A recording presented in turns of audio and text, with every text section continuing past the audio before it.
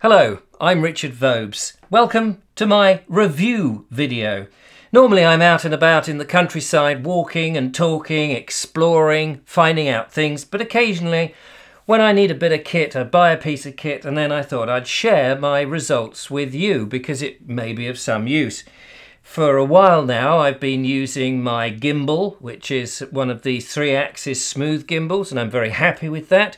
I put a GoPro on there and I'm walking and talking with my gimbal here, and I get this very smooth result, and it's brilliant. I, am loving it. What did we do before we had gimbals? I hear you cry. Well, I don't know.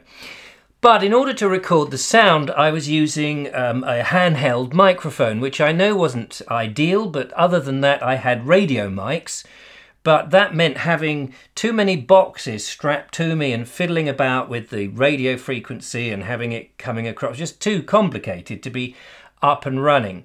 And what I wanted was a lavalier microphone or a tie clip microphone as I prefer to call them. And I, there's many options out there. There's cheap ones and there's more expensive ones. And I've actually plumped and gone for the Rode lavalier microphone. Now, Rode is a, an interesting make. They are broadcast spec. Um, they come in a little bit cheaper than the broadcast Sennheisers and um, Audio Technicas and all the other sort of makes that you can get out there. It's an Australian company and it seems to be very well respected in the vlogging sphere. sphere. There are other sort of microphones like the little uh, micro that can sit on top of your camera or your DSLR camera and that works quite well. But I wanted um, a little microphone that's uh, on me that goes into a pocket recorder because I'm using a GoPro and the GoPro mic, you know, um, I don't know, some of the GoPros don't record inputs. It's on a gimbal anyway, so you can't really attach anything to it because it's got to be free so it can float. Um, so I just wanted to take the sound separately. That way I've got more control over the sound Plus the fact the motors on the gimbal, those three axis motors, they do make a bit of a noise and a rumble, and I don't really want any of that in there. I just want to gather my voice if I'm talking and the surrounding countryside or whatever the environment is. So that all makes perfect sense. So obviously I've gone for this lavalier microphone. Now, the thing I should say with um, Rode is it's I don't know whether it's a good thing or a bad thing because there's pluses and minuses on this. Some Rode microphones you can buy and they have your mini mini jack or perhaps they'll have the XLR standard sort of professional plug-in uh, plug. But with the Rode, this one, it, they come with their own little connector, which is a tiny little connector. I'll undo this. I'm quite loath to, to do it really, but I'll undo it. It's a tiny, it's their own proprietary connector. The idea being that you can connect this tiny little connector to their range of additional connectors. So in this case, this quite chunky thing here is an XLR, which can go into a pocket recorder if it has an XLR, but you may want a mini jack or you may want a big jack. Um, is it the 3.5 or a half inch jack? Well, you buy a separate thing. But these aren't cheap on their own for what they are, I don't think, personally. Um, then what you do, and you do need a good pair of eyes, and I've only got the one, you screw this thing on. Well, I've been told that the thread on this and the connector you could hang from it, but don't expect to hang from the wire, of course. Um, that would be daft. So the lavalier microphone is actually very slimline, very small, um, and you almost think, how can something that small give you any kind of sound? It naturally goes on the inside of whatever it is you're wearing um, in terms of threading the wire, and then you can clip it. Ideally, you want to clip a microphone downwards so that you get a minimum amount of pop. And I'm doing this a bit cack-handedly just for quick demonstration. Um, that comes with a little foam, tiny little foam. I know you can't really see that. Tiny little foam which goes on, which if you're in the studio, that's great because it stops a few pops from the uh, explosive P's and B's that you might, I don't want to lose that, so I'm going to shove that down. And if you're outside, it also comes with its own little fluffy, and that's quite good. It fits in there pretty well. The only thing about these things is they're blooming obvious. Um, I'll show you some footage in a second.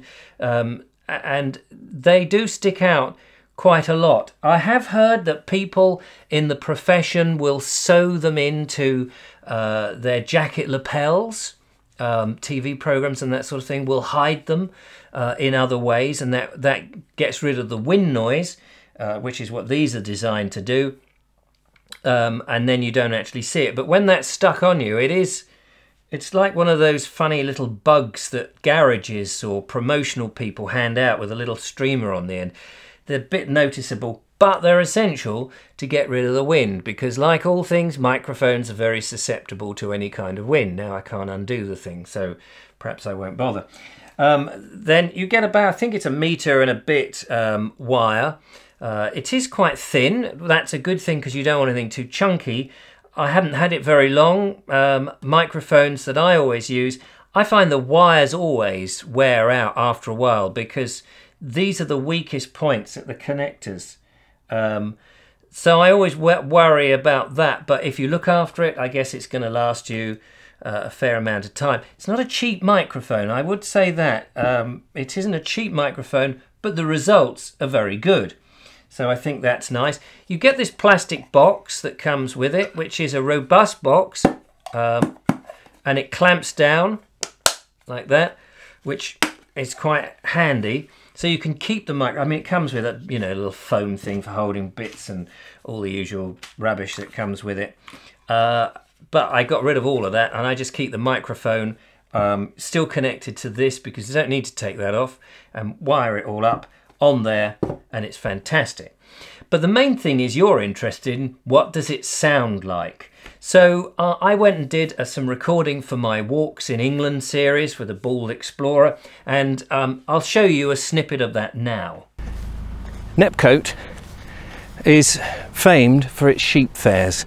There's an annual sheep fair here in September, I think the first or second week in September, and the green that I'm walking on now is, and over time, has been packed with sheep farms on the South Downs over the centuries are famed for their sheep. And I think the South Downs was a breed of sheep that was particularly prevalent here.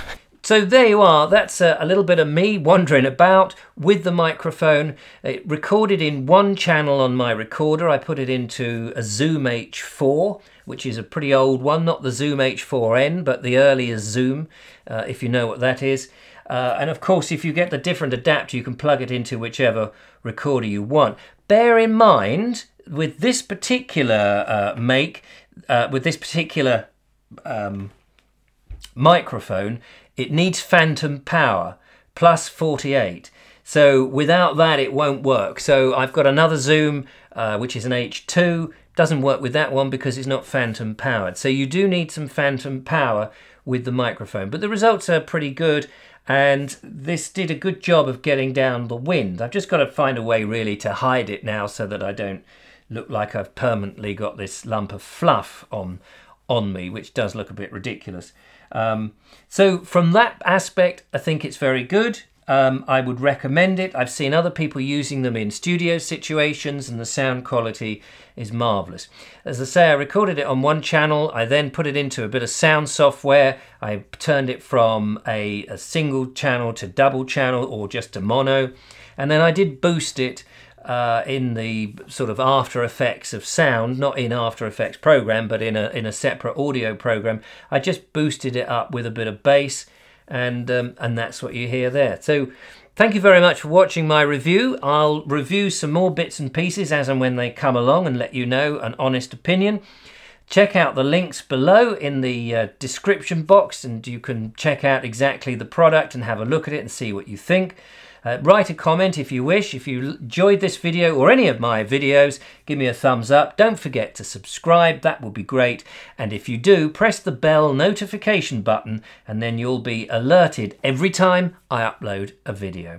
Uh, thank you so much for watching. It's been great to see you and talk to you. Until the next time, bye-bye.